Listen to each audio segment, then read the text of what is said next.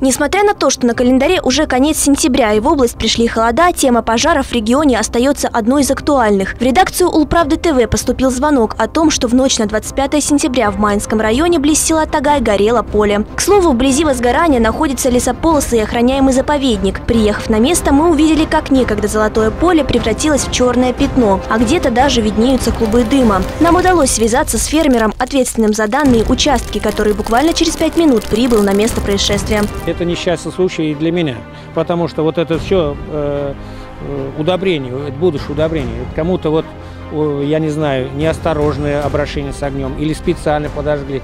Вот край леса, если смотреть, край леса, может кто-то бросил там чего-либо, я не знаю. Как это такая беда случилась, мне сейчас придется его останавливать. Сейчас трактора мне придется зяби снимать и сюда опахивать.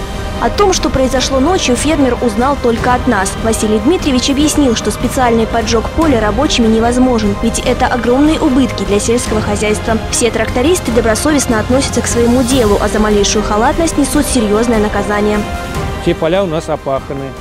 Пламя, конечно, никуда не уйдет с, с, э, э, с любого поля.